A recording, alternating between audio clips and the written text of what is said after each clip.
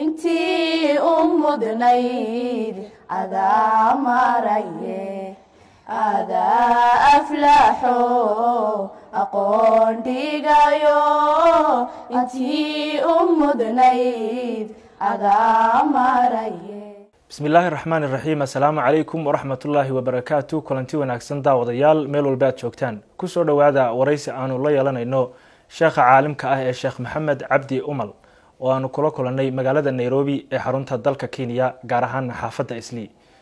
Sheekh marka hore soo dhowow mar labaadka waxaan doonayay inaan ku weydiiyo dad badan waxa ay ku garanayaan inaad tahay sheekh bulshada soomaalida dhexdeeda caanka ah oo taas uma baahna faahfaahin dheeraada.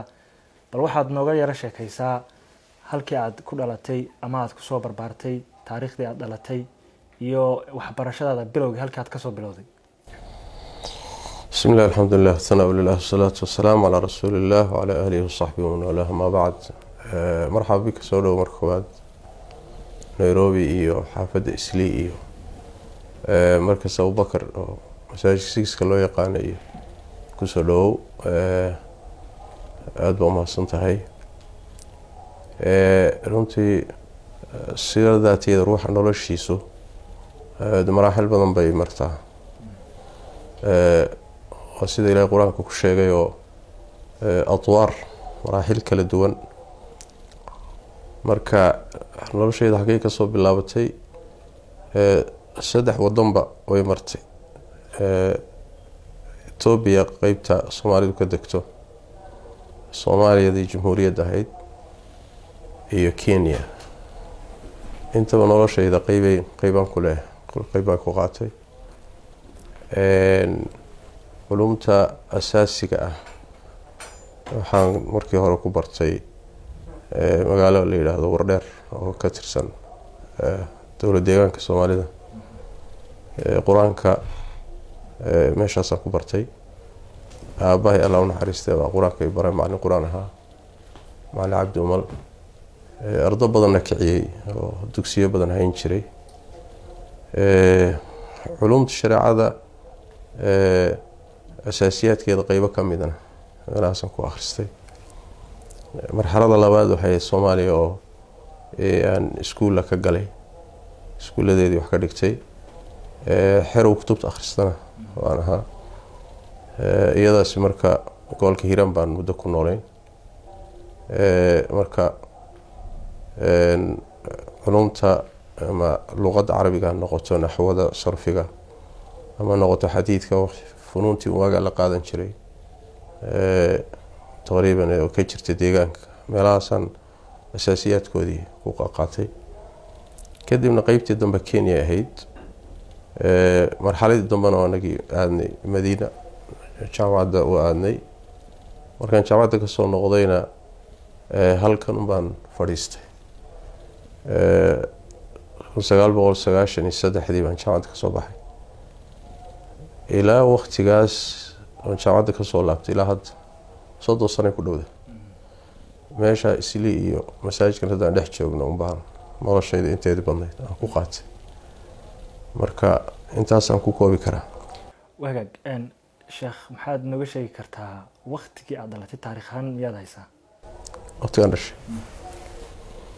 Baadiyaan horta ku dhashay. Sida soomaalidu u badnaydba taqriiban. Ree baadiyuhuna taariikh xadidan ma sheegi karaan. Dhacdooyin bay wax ku taariikhaystaan. Marka hooyadii way nooshahay ilaaha xifdiyo waxay ii sheegtay waa masterka ugu muhiimsan oo hadda uunaan macluumadaasi laga qaadan karo. Waxay ii sheegtay madaxweynihii labaad ee soomaaliya cabdirashiid markii la dilay geeridii soo yeedhay waxay ugu tiri adigoo hal sano jira baan dhabarka ugu siday bay ugu tiri marka sixty ninekii bay doon marayna markii la dilay cabdirashiid qiyaasta marka inaan dhashay nineteen sixty eightkii bay u egtay taqriiban hooye warkeeda markaan qabto. Marka meelahaasu qiyaasta iska dheh. Taariikh ahaan xiliyaas ku aadanta hagaag caruurnimadaadii magaalada wardheer baad ku soo barbaartay yaad ka xasuusataa dadkii aada isku carruurta ahaydeen ee waktigii ciyaalnimadii amaba aada waxbarashadii hoose malcaamadii hadday noqoto aada wakti soo wada qaadateen oo aada nooga xusi karaysaa? Waan yaryarayn oo horta inaan magaalo nimaadno waxay lahayd soob bay lahayd. Marka hore baadiyaan ku koray abaartii daba dheer waxay ahayd baan umalaynayaa nineteen seventy fourgii ayaa abaartiibaa waxoogaa ari oon lahayn. Ayay wax badan baabi'isay. Sabab waxay u noqotay inaan magaalada soo galno waa midaan idhaahdo ilaahay waxyaalaha bini aadanka dhibahaya ee dhacaya dhanka kale faa-iiday ku wataan. Shar oo waxba ma jiro oo maxdi ah siay culimadu tilmaamaan. Dad badanoo hadda xooluhu ka dhammaanayaan oo magaalooyin soo galaya inay xoolahaasi ka dhammaadaan baa maslaxada ku jirtaaba oy sidaas magaalo iyo nolol iyo waxbarasho iyo ku bilaabaan.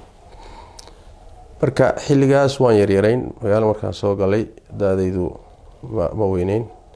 Marka raggii aan qur'aanka isla baranaynay ama aan ardada isla ahayn waqti dheerna waa ka soo wareegay maraaxil badanna waa ka dambeysay wax badanoo hadda ka xusuusnahay ma jiro. Dadkaan isla dugsiga ahayn waan yaraa waqtigaas waqti badan waa ka soo wareegay waxba ka garanahay hadda markan dambe ee aada jaamacaadka gashay saaxiibadaad mar wax ka wada baxday ama dugsigii sare hadday noqoto amaba jaamacaddii oo kale? Way badan raggaasi rag culimaa ku jira. Matalan marxaladii dambe ee aan ka ahayn ardada ka ahayn soomaaliya oo kale raggaan isla xer ahayn oo iskuullada wada dhigan jirnay oo baa jooga. Waxaa ka mid oo kale ka xusuusan karaa nin la shamaca altaraaro hadda nairobi nala jooga. Oo ilaa waqti dheer aan saaxiib ahayn waxaa ka mid a nin la yidhahdo cabdinuur weerar oo isagana ingiriiska jooga saaxiib khaas ahayn. Oo masjid la yidhahdo masjid quba oo london ku yaalla ayuu sheekh ka yahay oo gacanta ku hayaa marka ragba noocaas waa jiraan. Sheekh shibil oo kale waxaan isku soo gaadhnay isugu nimid. Macad mombaaso ku yaalo kisaa-uni la yidhaahdo waan ka wada baxnay marka rag badan oo noocaas waa jiraan oo ka xusuusto marxaladii dambe. Laakiin marxaladaa hore oo dugsiga ahayd wax badan kama garanaa qoyskaaga marka laga hadlayo hooyada iyo aabbaha iyo ubadkiina ayay ka kooban yihiin adigu halkeed kaga jirta qoyska ma curad baad ahayd ma guri dambeys baad ahayd ma meel dhexaad ugu jirtay ubadka hooyiyi aabbo. Halkee baad nolosha qoyskaaga kaga jirtay? Aniga waxaan ahay hooyii aabbo ilmahooda labaad baan ahay gabadh baa iga weyneyd wiilashana anaa u weynaa marka halkaasaan qoys kaga jira. Marka imise ka dadka toddoba ilmood baan ahayn. Saddex wiil wiil dhintay marka laga reebo saddex wiil oo hadda nool oon anigu u weynahay iyo afar gabdhood oo midina dhimatay saddexna nool yihiin. Intaasaan ka koobanahay adiga ubad baad leedahay iyo xaas maxaad nooga sheegi kartaa. Inta badan xaasaskii carruurta waa la qariyaayo. Warkooda warkooda inta badan lama baahiyey laakiin ilaahay fadligii carruur waxoogaa aan leeyahay. Xaasasna waan leeyahay.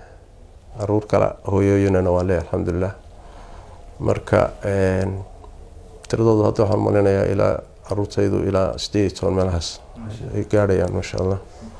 Allah barakeeyo hana xifdiyo waxbarashada markaa imika aada joogto ilaa caruurnimadaadii halkeed ka gaadhay oo la odhan karaa shahaadooyinka ad haysatid oo kale maanta haddii lagu dhahdo siday u kala sarreeyaan marka laga hadlayo. Marxaladaa hore oo aan iskuulkana dhigan jirnay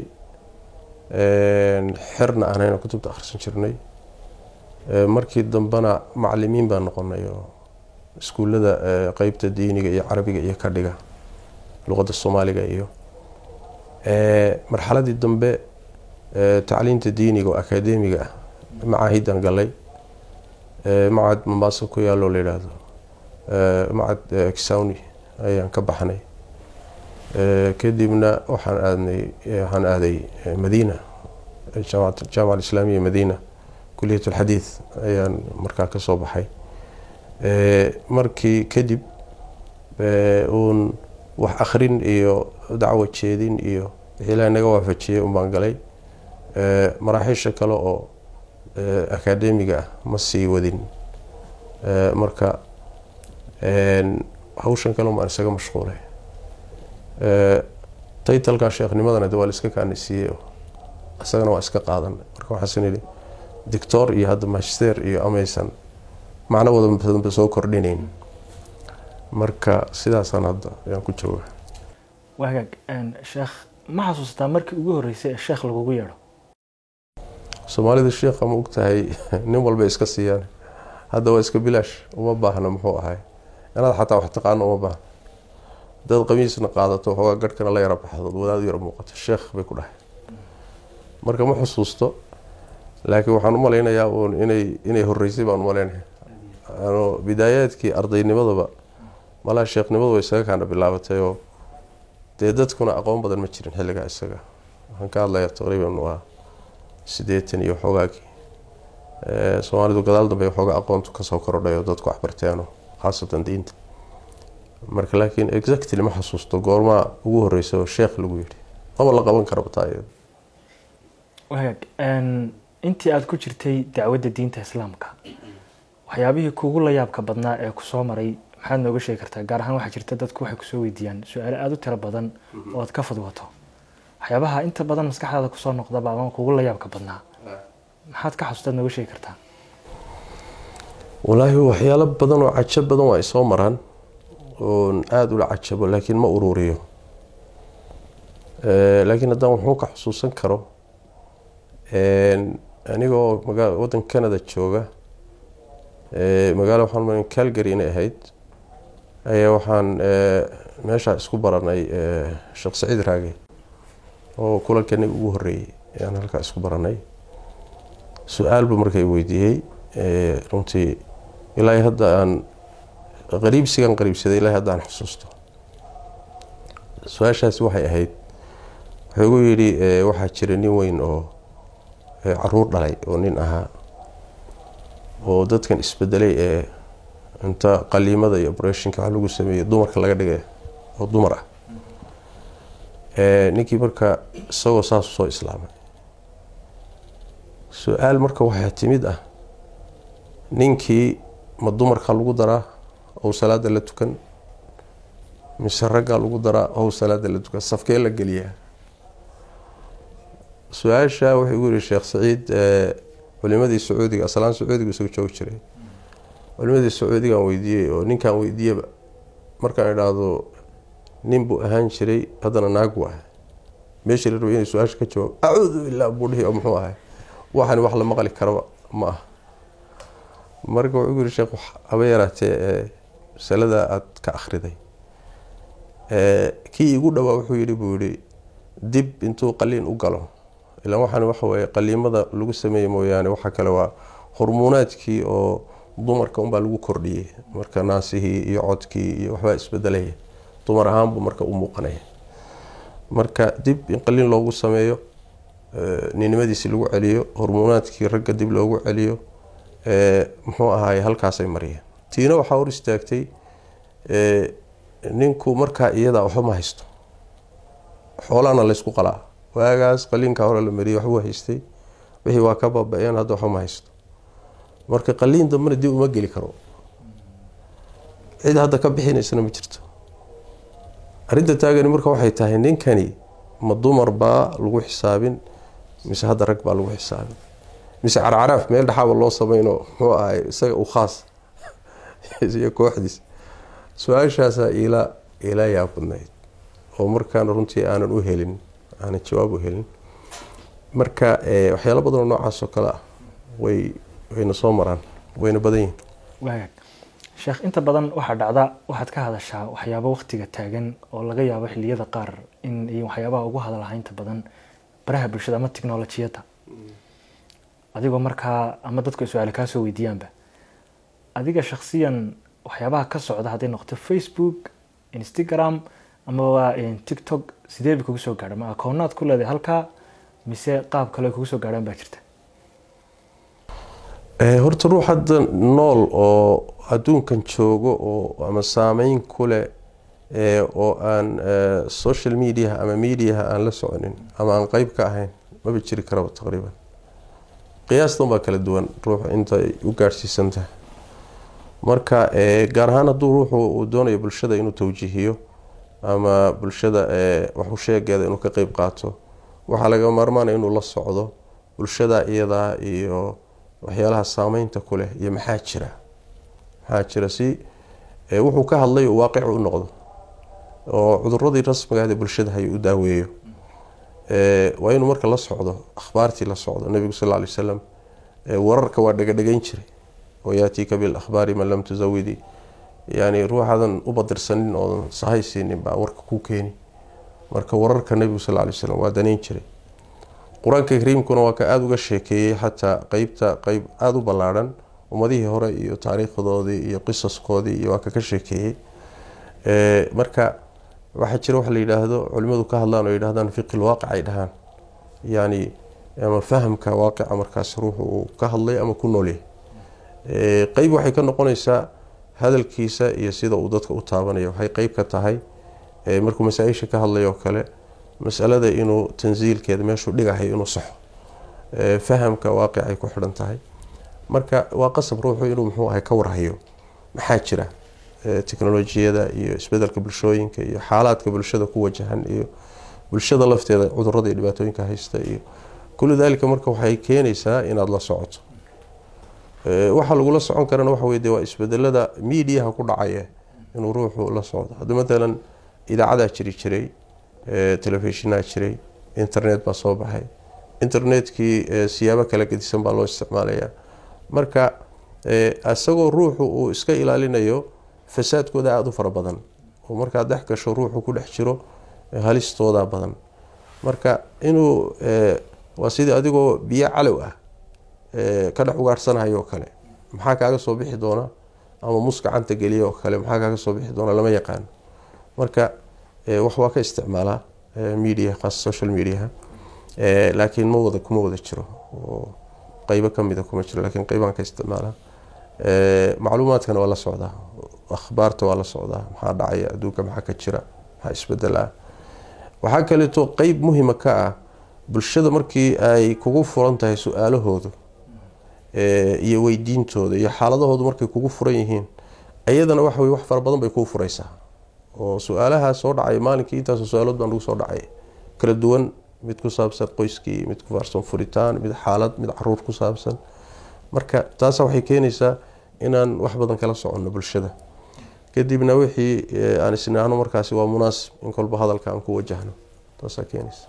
Marka adigu social media aada bay u tira badan yihiin ha kuwey baad odhan karta waad ugu badantahay aada u isticmaasha adiga facebooka iyo muxuu ahayey mawaaqicda muxuu ahayy muxuu ahayy whatsappka iyo facebooka iyo baan isticmaalaa. Laakiin tiktoka iyo waa dambeeyeen sharkoodaanu badan. Marka kuma jiro. Laakiin kuwa kale uun wixii macluumaada ku yimaado taqriiban waa ka warhaya inta badan. Hagaag deegaanada soomaalida sheekh dhulka soomaalida ay degto amaba ay leedahay.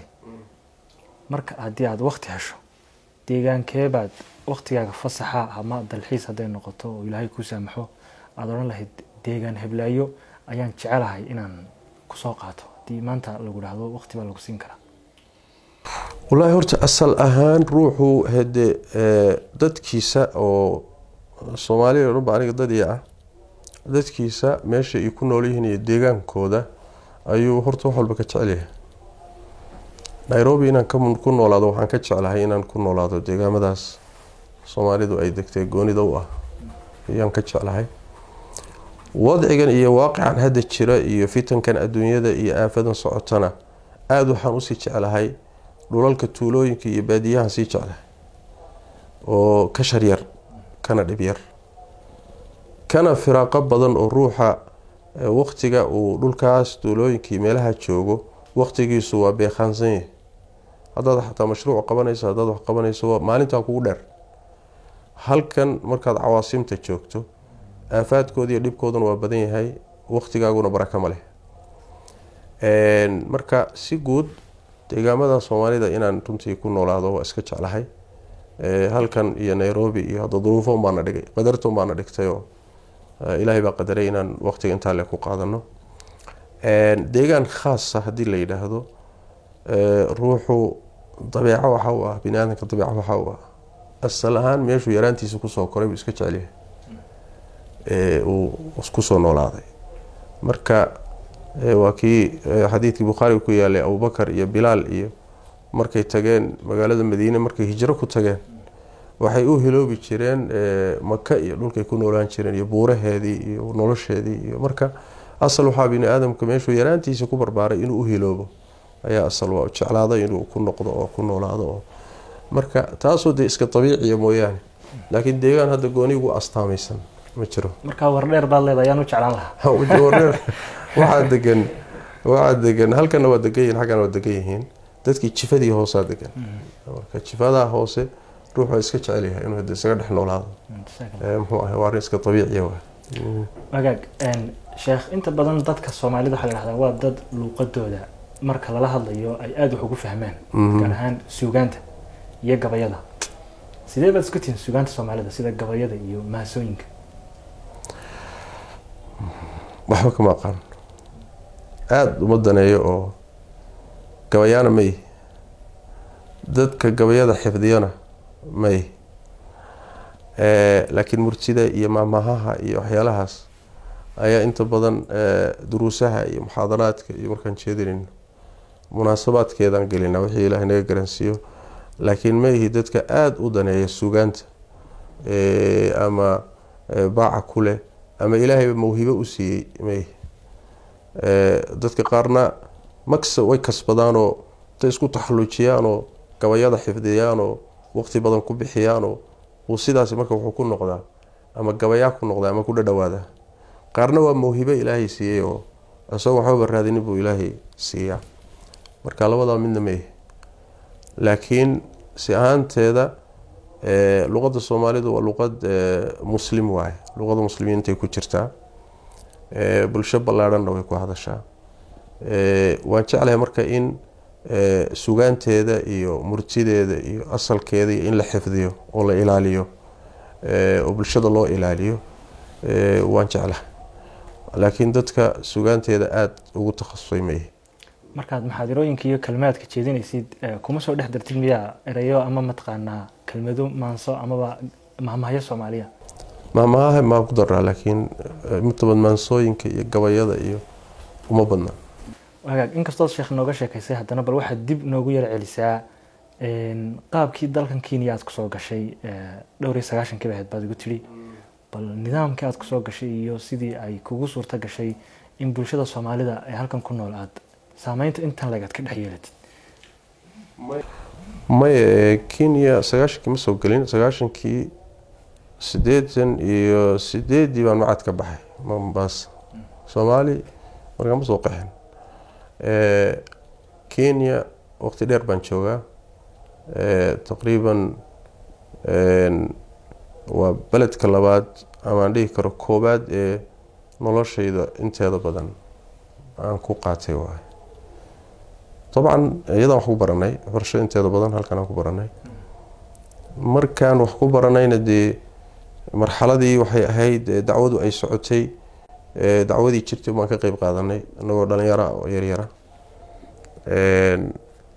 muxuu ahaayey kadibna iyadaan ka aaday jaamacadda jaamacadda markaan ka soo noqdayna ka soo noqdayna iyadii unbaan ku soo laabtayoo dacwadii iyo muxuu ahay ummadda masaalixdeedii wixii danheed wixii ilahay naga waafajiyey iyadun baan ka wadnay marka anagoo joogna ayay marka soomaalidii qaxeedii ayuu yimid.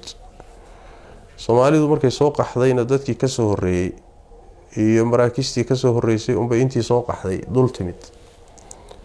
Meelihii ugu muhiimsanaayo timid marka waxay ahaayeen nairobi iyo iyo mombasa. Mombasa xeradii ugu horeysay qaxootiga soomaalida soo gala laga asaasay meeshaasay soomaali badani ka dhoofeen. Xeryahan kale laga soo galay. Ganacsigii soomaalida bilowday halkan xaafadan islii. Aan hadda joogno. Xilligan anaga joognay oo aan xataa masaajidkan sigi isku dhisnayn. Suuqyadanna wax ka jiray ma lahayn. Meel yar oo meesha la yidhahdo hadda gaarisaloj meel la yidhaahdo oo suuqyadan magacay la baxeen oo dhan hal guri oo la seexdo oo sidii muxuu ahay hotel oo kale ah ayay ka bilaabatay. Meeshaasaan marka waxaan ku lahaan jirnay masaajid yar oo ku tukano duruustan aan ku qaadano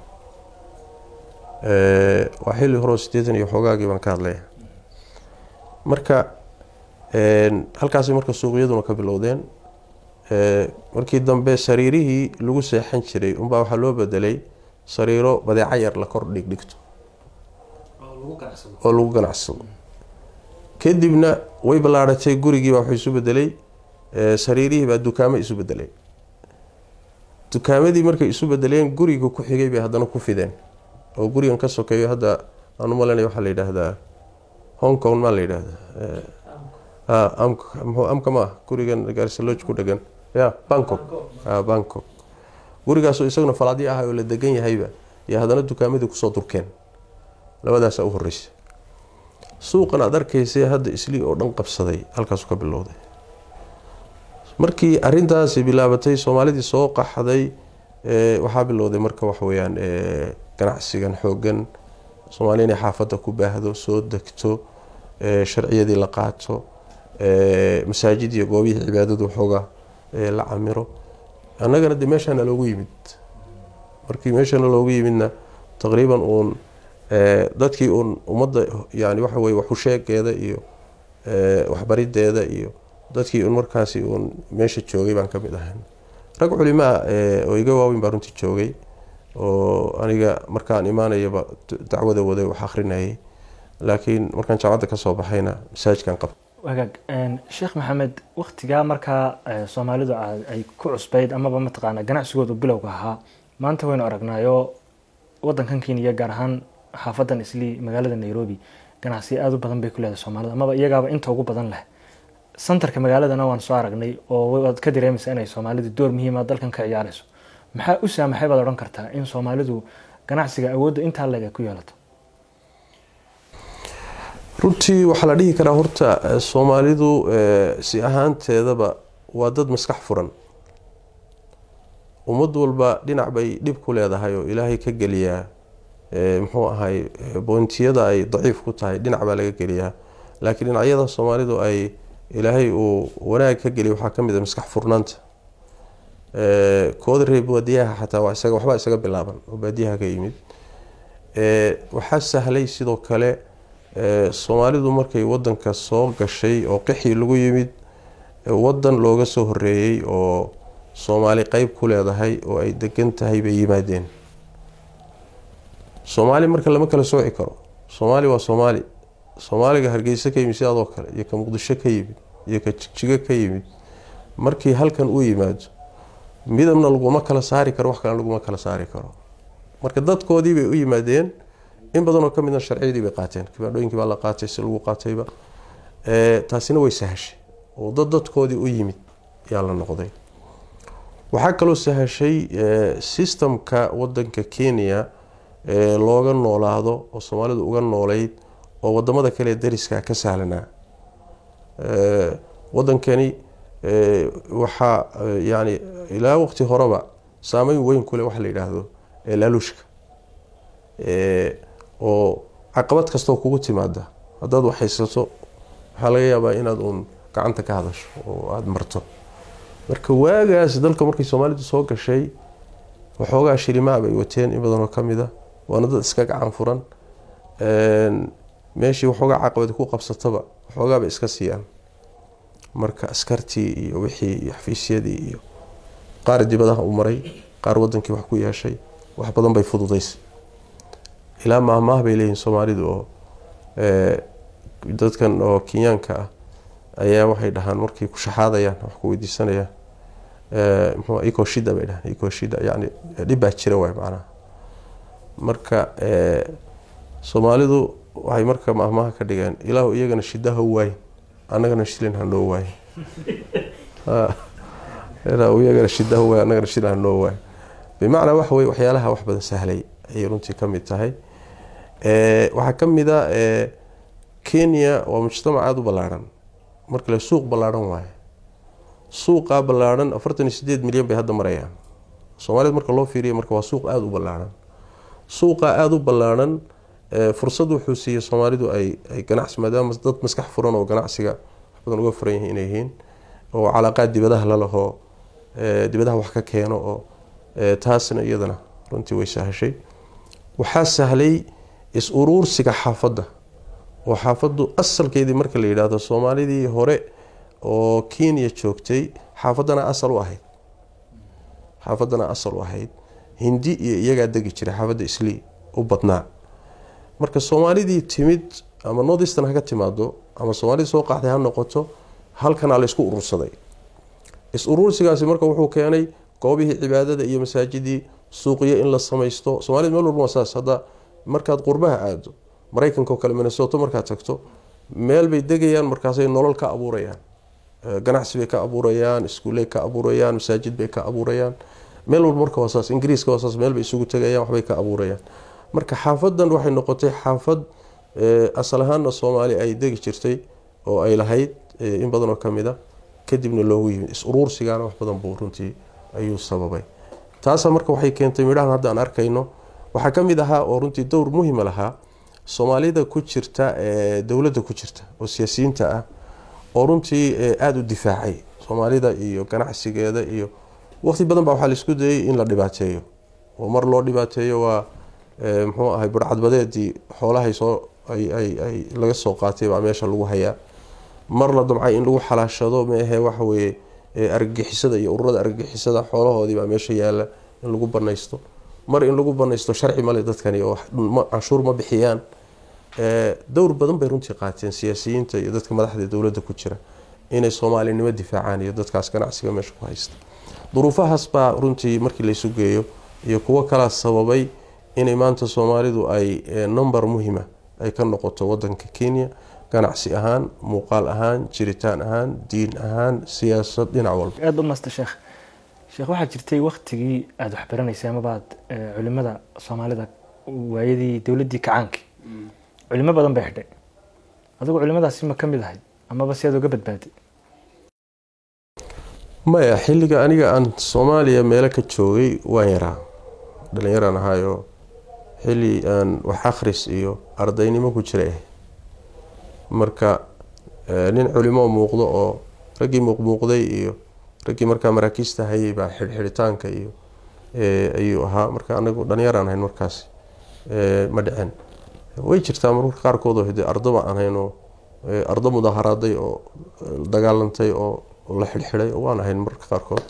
Laakiin culimonimo noloma xidhin wagaag ugu dambeyntii sheekh maxay tahay fariintaada aada u diriso guud ahaan bulshada muslimka iyo guud ahaan bulshada soomaaliyeedba?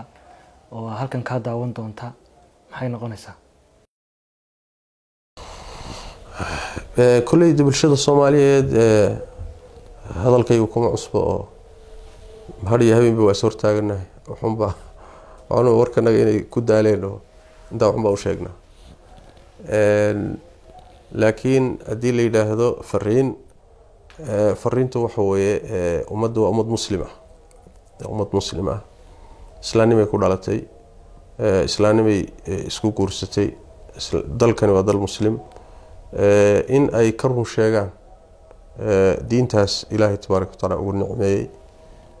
Barashadeeda hadday tahay ku dhaqankeeda hadduu yahay inay iyadaasi ay cizig iyo sharaf ka raadiyaan. Iyada un ku cizoobi karaan ku sharfimi karaan. In allaha la yarfac bi hada alkitaabi aqwaaman wayadacu bihi aakhariin. Diintan iyo qur'aankan dadka qabsadana ilaahay waa ku ciseeya waa ku sharfa wixii ka tagana ilaahay waa duleeya marka islaamnimadaas caqiidada wanaagsan ilaahay noogu deeqay in aan runtii waxaweye ummaddu ay ka run sheegto si dhaba loo qabsado. Qodobka labaadna waxawaaye cudurrada bulshada haysta. Sidii looga daawoobi lahaa looga bixi lahaa in lagu dadaalo oo uu asal u yahay cudurkan qabyaalada ah. Oo naafeeyey oo burburiyey oo baabi'iyey. Xididada ka galay iyo neerfahay meel walba ka galay qeyrkood ka reebay. Meeshay maanta yaallaan dhigay cadowgooda u jabiyey wax walba oo maanta haystaay intiisa badan loo aaneyn karo inuu sabab u yahay. Cudurkaana sidii loo daaweyn lahaa ama looga daawoobi lahaa in la isku dayo in sidoo kaleeto lagu dadaalo midnimada iyo wadajirka ruuxa bini aadamka ah wuxuu xoog ku leeyahay walaalkii. Ruuxu hadduu is yidhaahdo gooni ubax yaad wax ku noqon kartaa. Waa qarwaya waa qarwaya marka walaalka garabsigiisa iyo soo dhaweysigiisa ixtiraamkiisa isu tanaasulidda ayay ummad wax ku noqotaa. Laakiin tafaraaruqu waa fashal. Walaa tanaasacuu fatafsh waa fashal iyo burbur iyo aafo wey marka inay soomaaliya weeleysoy fahanto midnimada iyo wadajirka. Ama wadajir dal ha noqdo. Ama wadajir diineed ha noqdo. Ama wadajir siyaasad ha noqdo. Wadajirka wax loo dhigo iyo wax lagaga maarmi karo ma jiro. Wax bedelkiisa geli karana lama hayo. Waana mabda yani cuqaladoo dhan ay wada rumaysan yihiin muslim keliyata maaha qodobka kale runtii aan dhihi lahaa uu mudan yahay fariin ahaan inaan ummadda ugu gudbiyo soomaalidu waa dad firfircoon oo runtii dadaal badan laakiin firfircoonadeeda iyo dadaalkooda wuxuu u badan yahay dhanka masaalixda khaaska ah. Danaheeda khaaska buu ruux walba u dadaal badan yahay. Waxaa meesha ka baxday oo soomaalidu ay daciif ku tahay aada ugu liidataa danaha guud. Mithaal waxaad heli kartaa xaafadan haddaan degannahay waxa ganacsi ka jira iyo wax dukaamo ku yaalla iyo wax suuqyo ku yaalla iyo wax hanti taalla. Haddana isma hantida taalla iyo xaafaddu say u eg hadda goor baa sheekh mustafa noo yimid xafidahu llahu tacaala siyaaradiisii ugu horeysay marka waxaa lagu yihi nairobi maxaad ku soo aragtay? Xaafadda isliim marka wuxuu yihi guryo dheer dheer oo oo muraayada oo qurux badan oo bulaacad dhex yaal ayaan ku soo arkay. Yani waa suura xaqiiqiya waaye nadaafad xumada xaafadda ay lahaan jirtay waxoogaa hadda waxbaa iska badbedelay haddii ganacsiga ka jira iyo deegaanka ka jira ay bulshadu lahaan lahayd wacyi inay masaalixda caamka u istaagto marbaa xaafadda nabadgelyo darro looga kala carir gaadhay oo wiilal yaryaroo tooriye wata yaa nagu kacay. Oo xaafadiiba naga saari gaadhay maxaa la dhihi jira subapower subapower baa la dhihi jira marka ishkaalku wuxuu naga haystaa meel walboon joognana waa saas. Dhibku wuxuu naga haystaa ruuxa dantiisa khaaska markay noqoto waa xariif waa fahmo badan yahay waa dadaal badan yahay waa bini aadam waxsaarkiisa uusan caadi ahayn. Laakiin markaad dana guud isugu timaadaan maba laysu keenayaba ama maba danaynayaba. Saas darteed waxaad arkeysaa xaafadda u fiirsa hadda waxyaalihii dadka dhexeeya wadooyinkii ha noqoto nadaafadii ha noqoto goobihii cibaadada ha noqoto isbitaaladii ha noqoto goobihii waxbarashada ha noqdeen. Soomaali saalixda guud maaha. Keliyata dowlad keliyata maaha. Dowlad hadday kuu qaban weyda adaa qabsan karaa dhaqaalahan aad haysato haddii uu dhaqaale fahmaya yahay danaha guud wax ka fahmaya wax yar baa waxaan o lagu bedeli karaya. Laakiin bulshadii baan inta badan ayaan u bislayn. Halkan keliyatana meel walba saas. Meel walba soomaali aafada haysata waxa weeyaan masaalixdeeda iyo danaheeda guud ay isugu imaanayso. Iyo wax kastoy wadaagaysaa dhib ku ah waxaan wadaaga hadda tidhaah oo isfahma oo isu tanaasulo oo wada socda wuxuu ka doorbidahayaa inta wax wada inuu inuu xiniyaha jiido. Ya inta wax wada inuu qabto lugta qabto ayuu ka doorbidaya waa wax waxba loo gaari lahay. Marka in isu tanaasul iyo isfahm iyo waxwadaag iyo isla socod iyo dadka waxwada ee ummadda hogaaminahaya in la fahmo oo lala socdo oo la toostoosiyo oo yani waxay haleeyaana la isku dayo in la toosiyo waatan hadda keenaysa madaxdooda madaxda soomaalida kulli wuxuu nin walba kursiga ka degayaa isagoo tuug ah oo khaa-in ah oo bini aadamkii ugu xumaa ah oo cay lagala daalay oo khariban buu kursiga ka degaya. Sababta keenta maxay tahay? Haddii maanta ilaahay inoo keeno ninka inoogu fiican haddii laynoo dhiibo. Laakiin bulshadii la shaqayn lahayd aysan jirin ama ayadiiba jiran tahay. Oo ninku haddi muxuu samayn karaa ya waxba ma samayn karo. Soo saas maa waxba ma samayn karo. Marka bulshadu fahamkeeda iyo fiqigeeda ku saabsan wada noolaanshaha iyo wada socodka iyo masaalixda guud ayaa runtii aada daciif ah aada u hooseeya. Qodobkana waan kala dardaarmi lahaa in wacyigaasi dhismo oo wacyiga wada jirka iyo wada socodka iyo isfahamka iyo isu tanaasulka inuu wacyigaasi dhismo. Iyadana waa u dardaarmi lahaa. Fi lakhiirna waxaan u dardaarmi lahaa ummaddan inay fahanto cadowgeeda. Ma kala taqaano? In badanoo ka mid a cadowgeeda iyo saaxiibkeeda ma kala taqaano. Yani waxa weeye intii cadowgeeda ahay baa taladu haya iyo talada u dhiibanaya marka waa daba yaacayaanoo waa u sacabinayaan. Ilaahay fircoon markuu ka hadlay wuxuui fastaqafa qowman faataacuuhu innahum kaanuu qowman faasiqiin. Yani fircoon waxa ay u fududaystay oo si fudud ugu duufsaday iyagaa liitay. Mujtamac hadduu liito ilaahay sunnadiisa waxa weye nin xun baa loo dhiibaa nin xun baa lagu salidaa wakadalika nuwalii bacda aalimiina bacdan bima kaanuu yagsibuun marka mujtamaca hadduu liito madaxdoodu waxay noqonayaan dad liita. Hadduu mujtamacu hagaagana ilaahay wuxuu u hagaajiyaa hogaanka iyo madaxdu u hagaajiya waa wax iswado waay. Eedayntan hadda matala madaxda besen la eedaynayo waa khalad. Bulshadii baa eedaysan. Ya bulshadii baa eedaysan oo si wax ka yihiin. Ninkanina iyaga unbuu ka yimi. Marka waxaan dhihi lahaa arrimahaas yaan si kokooban fariimo ahaan iyo risaalo ahaan aan is leeyahay munaasib waay. Aada iyo aad baad mahadsantahay sheekh. Waa hagaag daawadayaal intaasi ayaanu ku soo koobaynaa waraysigaasi aanu la yeelanaynay sheekha caalimka ah ee sheekh maxamed cabdi umal annagoo waraysigan kaga qaadnay xaafadda isli ee magaalada nairobi ee dalka kenya tan iyo kulanti dambe nabadgelyo intii u mudnayd adaa maraye adaa aflaxo aqoon dhigayo intii u mudnayd adaa maraye